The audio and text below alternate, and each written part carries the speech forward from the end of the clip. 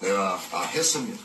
하고, 예, 그 뭐, 욕은 안 하고, 제가 있는 대로 거짓 없이 이야기했고, 하고 미카엘라 경 발발이, 하고 천지순이 일명 행복 많다, 모모, 예, 제인대 계좌 입금한 내역, 예, 예, 다 뽑아왔습니다. 뽑아왔고, 예, 내가 천만 원을 받아야죠. 예, 요 안에 있습니다.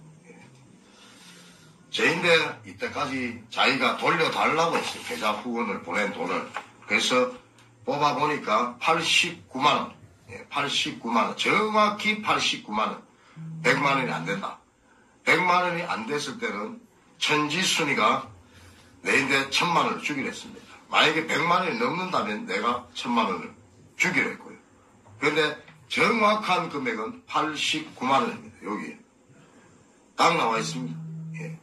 그래서 언제까지 미카엘라 경, 니는 명예훼손 허위사실 유포, 방송통신법 위반으로 니는 고소당할 거고, 천지순이 니도 똑같은 경우고, 그리고 국민은행 그게 어디서 나온지 모르겠지만, 그게 맞다면 니는 사무소 위조지.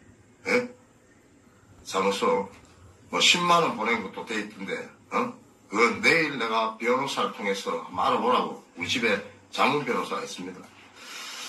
알아보고 되는 대로 내가 최대한 무겁게, 최대한 내가 끌어줄 테니까, 그거는 당신들이 감당해야 될 부분이고.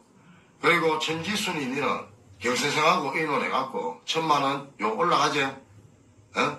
나이트 보세요. 요 올라가네, 여기. 소중한 후원, 계좌번호 110 0037 24723 우체국 황땡구 앞으로 보내라이 천만원. 그러면 내가 천만 원을 받아갖고, 예, 우리 또 사머리 누님 500만 원 주기로 했습니다. 약속은 약속입니다. 저는 뭐 약속 안 지킬 사람 아닙니다. 만약에 오늘 제가 방송한 내용이 거짓이다. 이 통장에 처음 만들 때부터 이때까지 입출금을 다 빼가 왔습니다. 이게 거짓이면 제가 시청자님들 앞에서 말씀 아까 드렸다시피 유튜브 그만하겠습니다. 누구처럼 그만한다, 그만한다 이렇게 거짓말 안 합니다. 저는 정확하게 이야기하지만 저는 만약에 내가 오늘 하나의 거짓이라도 있다면 제가 유튜브 그만두겠습니다. 예, 유튜브 그만두고 제가 할 수 있는 원래의 일을 무역의 일을 찾아서 저는 가겠습니다.